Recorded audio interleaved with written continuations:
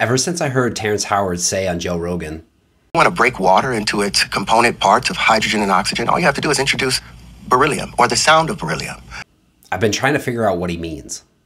Now, I've already shown that this doesn't work with the simple introduction of beryllium in the attached short. But what about the sound of beryllium? Well, I finally found it. After countless days of looking through textbooks, nope, not in here. Definitely not in here. And scouring through the internet, beryllium itself as an element does not produce a sound. I was finally able to find it in a little obscure book written in 1912. Look, it even has a warning about water.